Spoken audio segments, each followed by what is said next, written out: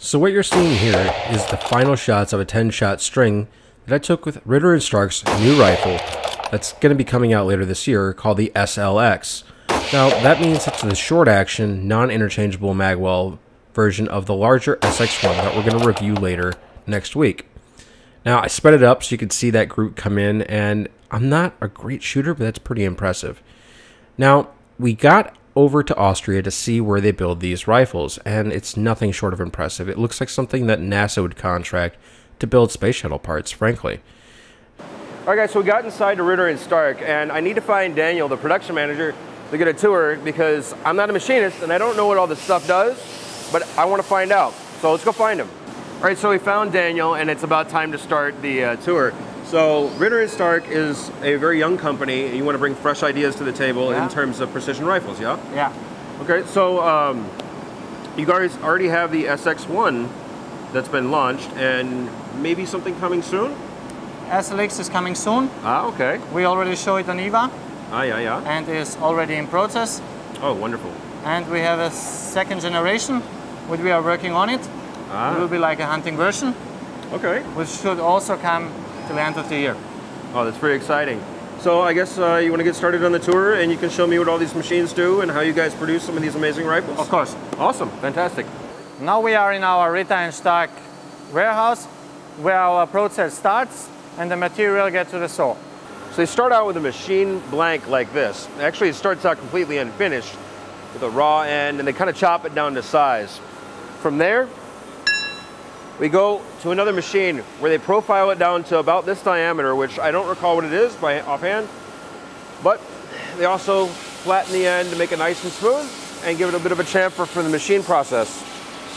So we go from there to the next machine where they start punching the barrel. And this is kind of a pre-chamber cut.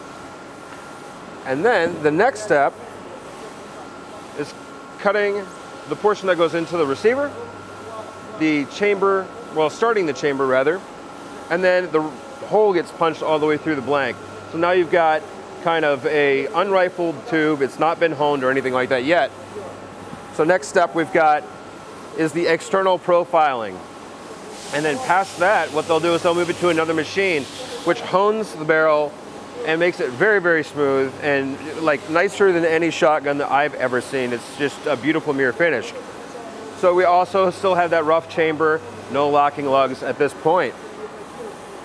Then it moves over to the machine that cuts the chamber and the rifling, and, well, not the rifling, it, they cut the chamber, they cut the locking lugs, and then it goes from that machine to another machine which uses a proprietary process to rifle the barrel within, I think it was 0.005 millimeter.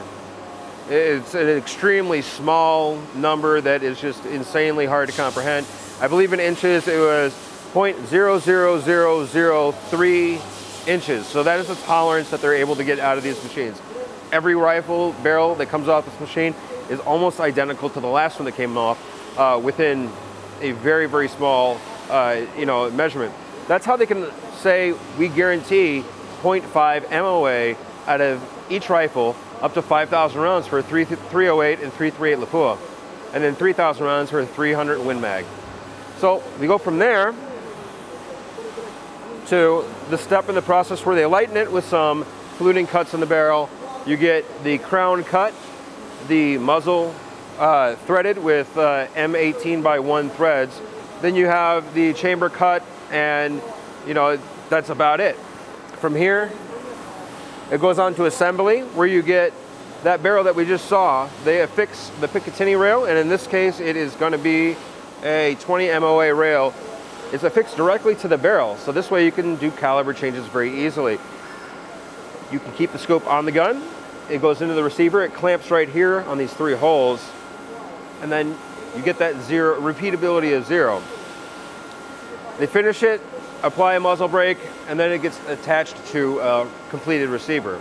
So overall, I think that the barrel process here at Ritter and Stark is beyond anything that any of us have ever seen. All right, so the machine you see behind me, they're actually using the machine Picatinny rails that mount to the top of the barrel. And it's about three times the size of my truck that uh, I normally drive every day. it's nothing short of amazing. Most companies out there will use an extrusion and then just do some minor finishing processes to make it work for whatever application they do, they're doing, which is just fine. But the commitment to accuracy and um, precision that Ritter and Stark has really shows here. Whereas other companies might use a simpler process, they're machining their Picatinny rails, their optics mounts from bar stock in three separate processes on, that, on this insanely impressive machine. Okay, so what we expected to find at the other machine is actually built on this one here, and that's the receiver of the rifle. So they start with a bar stock piece here, chuck it in the machine, and the first machining process spits out a product that looks a lot like this. And then it goes back in the machine in another fixture, and they finish the receiver out in this beautiful piece of uh, aluminum. And it's just beautifully machined. The surfaces are very smooth, and it results in a pretty slick little rifle. You can see here the three bolts that's used to hold the barrel in place right here. And then uh, this would be the magwell area, trigger pocket, and then the area for the receiver extension or buffer tube, whatever you might want to say. But it's so very cool. Wow. Which you load inside, and on the end the finished part. Usually they have nobody be on the process, but when we say, okay, the first 20, 40 quantities which we did to check dimensions fine, tools are right, program uh, nice, adjustable, then we say, okay. And then every 20 seconds is coming a new part out, you see? Yeah. The grip is going inside, take over the parts, and nobody, nobody touched in process. Yeah. yeah. Oh, yeah, yeah. No human mistakes allowed.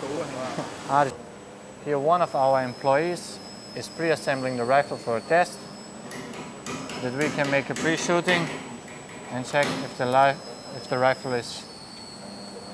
I, I see that the receiver is marked uh, Laufprüfen. Yeah, yes? it means so, uh... barrel check.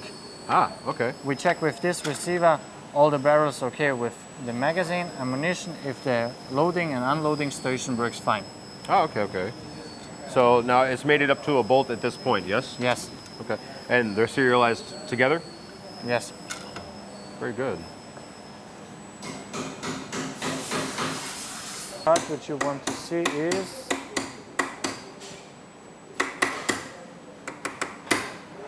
So what's the outcome of this just outstandingly detailed process? Well, frankly, it's a pretty fantastic rifle.